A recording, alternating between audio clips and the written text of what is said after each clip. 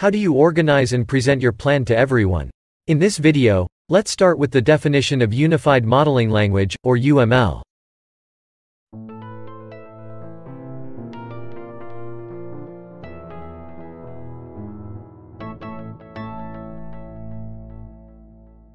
What is UML? UML is a model-based technology for understanding software system behavior. It can be used to show the structure, sequence, and interactions of system components, as well as the relationships between them. What are the origins of UML? Grady Booch, Ivar Jacobson, and James Rumbaugh developed the Unified Modeling Language while working at Rational Software in 1995. The Object Management Group, which includes Hewlett-Packard, IBM, and Apple Computer, adopted UML as a standard for its members in 1997. With interoperability in mind, this ensured that UML would be a shared visual language for many years to come. The International Organization for Standardization, ISO, published the language in 2005, and it has since been revised and reviewed to keep it up to date. UML 2.5, the most recent version, was released in 2015. Today, UML diagrams are less popular because many software teams now work in an agile environment, but there are certainly reasons to use them. UML diagramming enables teammates to consistently document and communicate ideas, and this type of clear communication keeps everyone on track. What are some common uses for UML? UML is most commonly used to create communication between applications, Prepare the class structure in the application, prepare the database structure, and demonstrate sequences or use cases. There are, however, many more types of UML diagrams, and they frequently have very wild adaptation possibilities. How are UML diagrams created and used?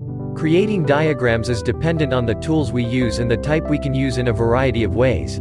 However, there are some standards to follow, such as Class diagrams are the backbone of almost every object-oriented method, including UML. They describe the static structure of a system.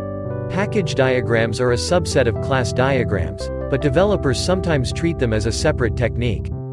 Package diagrams organize elements of a system into related groups to minimize dependencies between packages. Object diagrams describe the static structure of a system at a particular time. They can be used to test class diagrams for accuracy. Composite structure diagrams show the internal part of a class. Use case diagrams model the functionality of a system using actors and use cases. Activity diagrams illustrate the dynamic nature of a system by modeling the flow of control from activity to activity. An activity represents an operation on some class in the system that results in a change in the system state. Typically, activity diagrams are used to model workflow or business processes and internal operations. Sequence diagrams describe interactions among classes in terms of an exchange of messages over time. Interaction overview diagrams are a combination of activity and sequence diagrams.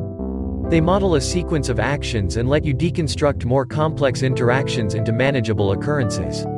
You should use the same notation on interaction overview diagrams that you would see on an activity diagram.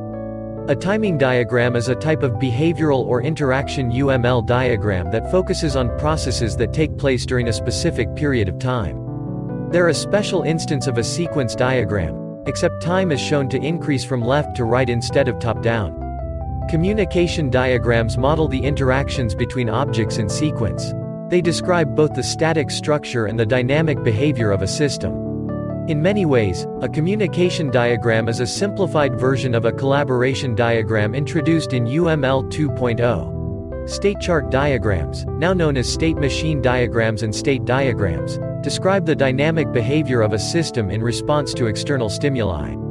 State diagrams are especially useful in modeling reactive objects whose states are triggered by specific events. Component diagrams describe the organization of physical software components, including source code, runtime, binary, code, and executables.